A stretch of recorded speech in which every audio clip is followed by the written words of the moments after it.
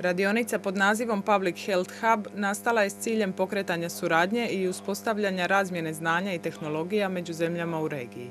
Ovaj program je zamišljen upravo tako da profesionalca educira da prepoznaju svoje potrebe, specifične, zatim da zajedno s nama prođu e, naša iskustva u procjeni potreba i nakon toga oblikuju program koji su konkretno primjereni njihovim i resursima, financijama, kapacitetima koje imaju i zgradama i ljudima e, i opremi. Dakle, mi cjelovito osnažujemo da oni budu zapravo kompetentni napraviti reforme svojim državama. Predstavnici Bosne i Hercegovine, Crne Gore, Kosova, Makedonije, Albanije i Hrvatske rade zajedno kako bi što uspješnije prepoznali probleme u svojim sustavima javnog zdravstva i primijenili najbolja rješenja. Upravo je naša zemlja jedna od svjetlijih primjera regije. Nekoliko je posebno uspješnih projekata u Hrvatskoj, jedan od njih je reforma hitne medicinske pomoći koja traje već nekoliko godina, ali se uspješno implementira i pokazuje dakle, puninu rezultata. Ali ima i problematičnih područja, naglasio je Đakula te dodao. Hrvatsko zdravstvo je relativno dobro zdravstvo sa jako puno malih kroničnih bolesti. Bitno je da se na lokalnoj razini dobro organiziri sustavi koji onda servisiri svoje građane na najbolji način.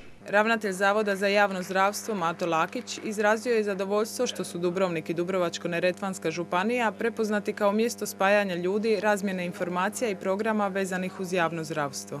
Dubrovnik inače vezan uz, kroz svoju povijest vrlo čvrsto uz medicinu i u zaštitu zdravlja ljudi i bio uvijek svijetli primjer. Nakon dvodnevne prezentacije uspješni prakse iz pojedinih zemalja sudionica, u zadnjem danu planiran je zajednički rad na projektima koji su svojevrsna prijava za buduće programe, čija primjena se očekuje u sljedećih pet godina.